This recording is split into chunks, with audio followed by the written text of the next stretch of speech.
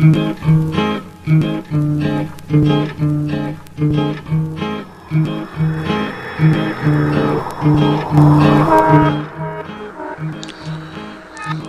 the sake of time, I'm going to start with an existing uh, project that I'm working on. So I'm going to come in and click on continue editing. For the sake of time, I'll cut this a little bit. And here we go. So here's our project. Adding media. When selecting the appropriate media, always consider what will enhance the story. Using additional media to tell a story can help you illustrate something literally or symbolically.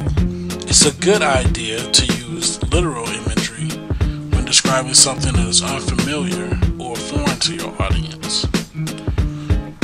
A good example of when to use a symbolic meaning is when you're expressing an emotion or a feeling.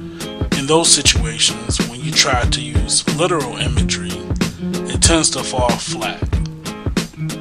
For example, if you needed to illustrate time passing, showing footage of a clock on a wall, which is a very literal approach, doesn't convey as much as time-lapse footage of time moving very quickly.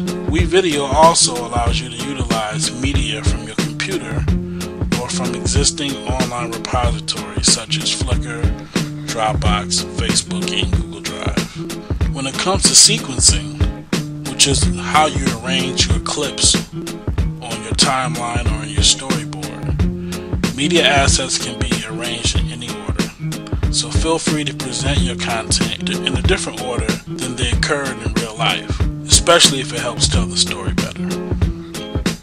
One thing to consider is providing visuals of the environment is a good way to set the scene and help people connect to your story better.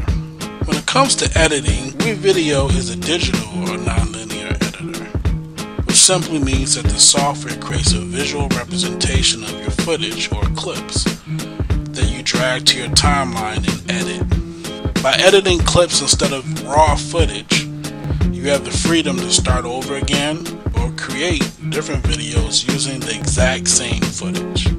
When you only need a portion of the footage in a clip, you can trim the excess footage by dragging the borders of the clip inward from either side. Using transition and themes.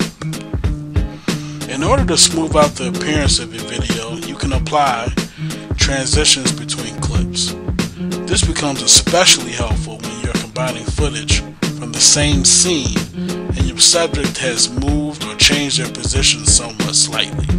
Transitions help to prevent what appears to be an abrupt shift in their position, which can be very distracting to your audience. As a rule of thumb, go for subtlety with transitions. For most situations, a fade or dissolve is the most appropriate choice. Only deviate if it adds something to the story. However, every clip does not require a transition.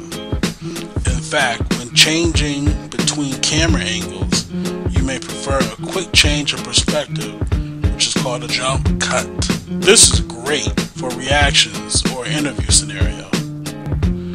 Now, one cool thing about WeVideo is that it actually makes this whole process a lot simpler than having to manually do this. You can choose a theme, and the theme is, is basically a collection of sounds, transitions, effects, and it applies the whole theme all at once. So if you just find the right theme, you can kind of preview some different themes here and see which ones you like.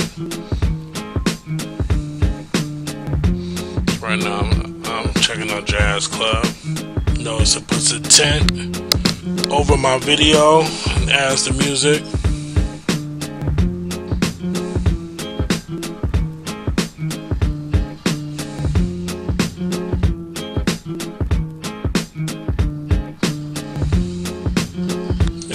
Like it, I just say use this theme.